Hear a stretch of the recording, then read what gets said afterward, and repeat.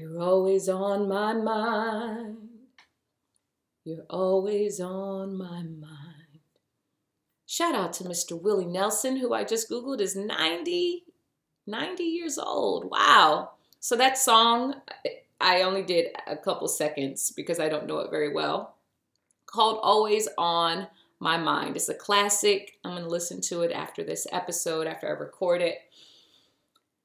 Mind. I'm using this song as point number two of the five points of being a spiritual superstar, shining star, which is spiritual study on my mind. It's dealing with the intellect, reading. I think this is the one that most of us are accustomed to, especially if you're very familiar or raised in the Western world. We value, we focus more on getting to something, experiencing something through ideas, through reading, through audiobooks. You know, some people say we don't read anymore.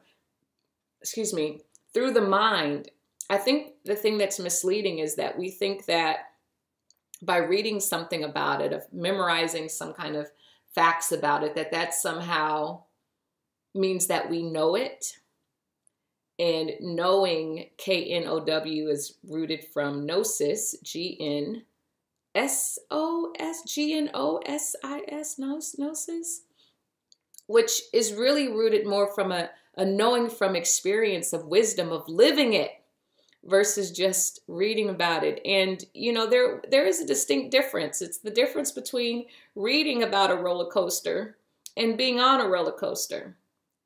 I think everybody would agree that there's you can read about it and get a sense of it, but until you've actually been on a roller coaster, it's a different thing, right? Or it's the difference between learning what you learn in school and and and reading about finance or economics or psychology and that's there's a gap though from studying it and then you know, if you studied psychology, there's a difference between studying it and then when you're sitting in front of that first client and applying what you intellectually and the concepts, right, that you studied. I think though studying and spiritual study has such an important place, but I think we willed and give it a bigger chunk of the pie than it deserves there's an imbalance if we focus purely on study without integrating other things from my own personal experience. And I'll just say that I also had an imbalance when that was the sole way that I tried to do my spiritual work and healing work. And it was slow moving. And when I say imbalance or lack of integration, in some ways it was like, okay, I'm doing the spiritual study and I get the concepts, but maybe I wasn't integrating fully yet more of more and more of what those teachings were implying of the embodiment and application of that. I still had my my fears and you know i still do right? But more and more often I think i'm applying and making more choices that are aligned with the fullness and and the the qualities of the spirit versus the qualities and fears of patterns and past traumas and et cetera, et cetera. So, study isn't going to be the way that gets you there, but it is a valuable foundation for where you want to go. For me, I've shared in the previous uh, episode. If you haven't listened to the five points and the five steps of being a spiritual shining star, please listen to that podcast episode. It's like two or three episodes back at this point because it gives an overview of all the five points and why I think each point is is its own thing in its own right and how they're all integrated and important in having a robust spiritual practice which will lead to a robust life because as I've said before the world is quick to put us in boxes and limitations whereas the spirit and doing our work helps take the shackles off, whether self imposed or imposed by others. It helps liberate us and really connect on a more and more deeper level, lived, experienced, and expressed of our loving nature, of our infinite wisdom, of our authentic power, etc., etc. So, spiritual studies place in this is exactly what it is of, of finding different spiritual texts. Whatever text resonates with you, it could be the Bible, it could be, for me, I've mentioned my, the the text that I've stayed with the longest that was like, oh, this is my jam, is A Course in Miracles. A Course in Miracles, because I have a very inquisitive mind, very detail oriented. Why, why, why, why, why, why is one of the questions that I've been asking since a little girl, not just about life, but about a lot of different things. And I feel like I've gotten to the resolution finally of the whys that I was asking as a child, as opposed to the feeling guilty for asking the questions or or being being told that I need to take things by faith. And faith does have its place, but also having an intellectual understanding, whatever it is that you follow, should support your intelligence, right? We cultivate this mind in school for a reason. And whatever you're whatever you're studying uh, should and could support and hold up to your intellectual curiosities and answer questions and give context. For me, that was A Course in Miracles. I also have a very strong interest in psychology, and it speaks to that part of me as well. So, what having a spiritual study, what spiritual study did for me and what it can do for others is context matters. Life can be a challenge.